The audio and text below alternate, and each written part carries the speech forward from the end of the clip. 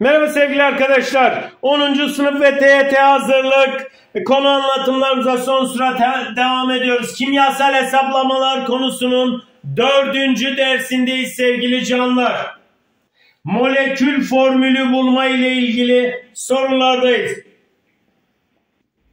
Arkadaşlar birinci sorumuz basit formülü XY2 olan bileşiğin 1 molünde 9 Na tane atom vardır. Buna göre bileşiğin molekül formülü nedir? Arkadaşlar 9 Na tane Na tane yerine mol yazalım. Bu da ne olsun? 9 mol atom olsun. Arkadaşlar bağıntımız neydi? Basit formül çarpı N eşittir molekül formülüydü. Basit formülümüz ne? XY2. XY2 çarpı N molekül formülünün bir püf nokta şu. Bir molü kaç gram? Bir molü 9 mol atom içeriyor. O zaman püf noktadan yürüyelim. Bir mol basit formülümüz yani x, y ikimiz kaç mol atom içerecektir? 1 mol x, 2 mol y toplamda ne yapar? 3 mol atom. Çarpı n eşittir 9 mol atom dediniz. İşte aradığımız şey bu. Basit formül ile molekül formülümün birimi aynı olursa en direkt sayma sayısı çıkar. N'imiz 3 oldu. X, Y 2'de 3'ü yerine koyduğumuz zaman X 3, Y 6 yapar. O zaman ne oldu arkadaşlarım? Doğru cevabım Ceyhan oldu. Arkadaşlar geldik ikinci sorumuza. İkinci sorumuzda demişiz ki basit formülü CH e, olan bileşiğin 1 molü 78 gramdır. Buna göre bileşiğin molekül formülü bir şeklinde bir soru. Arkadaşlar hemen yazıyorum. Basit formül çarpı n eşittir molekül formülü. Basit formülümüz neymiş? CH çarpı n. Molekül formülü içinde ne yazacağız? 1 molü 78 gram. İşte püf noktamız bu. O zaman 1 mol CH2 yani basit formülün 1 mol kaç gramdır? Hemen onu bulalım. 1 karbon değil mi CH için? 1 karbon 12, 1 de hidrojen 13 eder. O zaman 13 gram çarpı n eşittir 78 gram etti. Birimler aynı birimler gitti. N'imiz ne oldu? 78 bölü 13'ten 6 yaptı. N ne oldu? Bir sayma sayısı. O zaman CH 6 ile genişletirsek C6 H6 yapar ki doğru cevabın doğrunun D'si olur.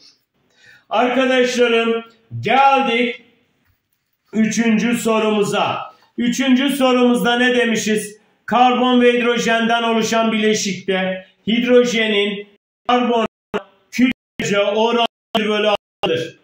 O zaman biz buraya kadar olan kısımdan faydalanıp e, basit formülünü bulalım. Sonra da normal koşullarda öz kütlesi 2,5 gramdır.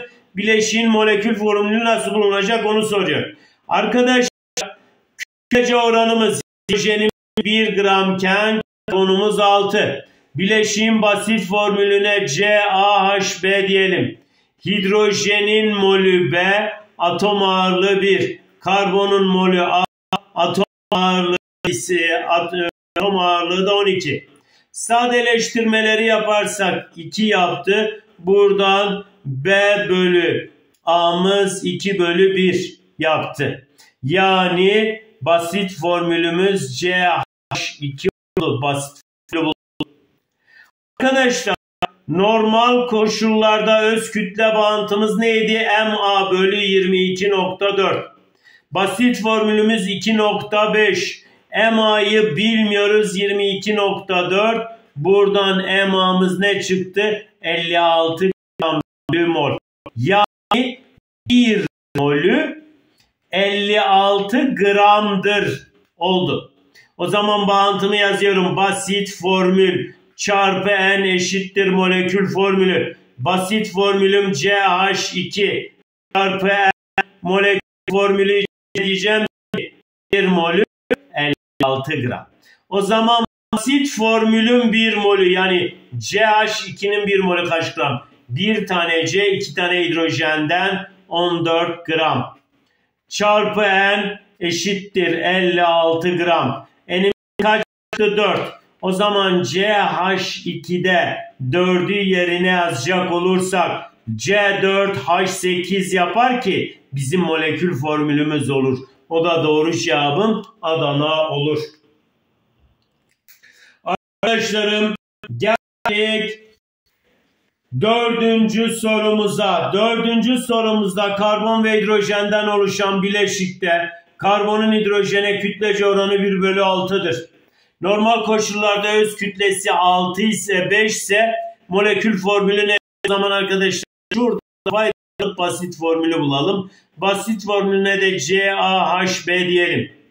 Arkadaşlar karbonun hidrojene kütlece oranını hesaplarken mol molü ile atom ağırlıkları çarpımının oranına bakıyoruz. Arkadaşlar karbonun buradan o zaman karbonun hidrojene kütlece oranı 6 bölü 1. Karbonun molü A, atom ağırlığı 12, hidrojenin B1. Sadeleştirdik. A bölü B'miz 1 bölü 2 yaptı.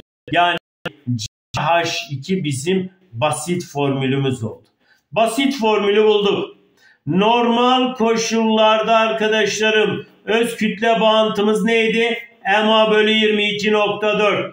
Öz kütlemiz 5. MA'yı biliyorum 22.4 çarptığım zaman MA'mız 112 gram bölü mol çıkar. Ne demek bu? 1 molü 112 gramdır demek. Hemen bağıntımı yazıyorum. Basit formül çarpı eşittir molekül formülü. Basit formülüm CH2 çarpı N. Molekül formülümüz ise 1 molü 112 gram. Basit formülüm 1 molü 1 karbon 2 hidrojenden 14 gram çarpı N eşittir 12 gram N'imiz buradan kaç çıkar? 8. O zaman CH2'yi 8 de genişletirsek C8 H16 yapar bizim molekül formülümüz. Yani doğru cevabımız Edirne olur.